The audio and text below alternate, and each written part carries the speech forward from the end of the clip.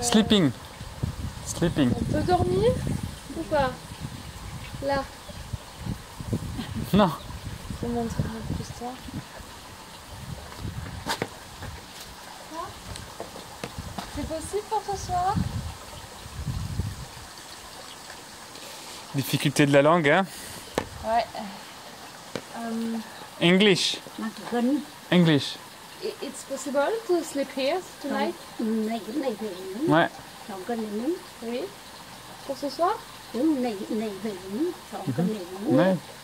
Pour deux.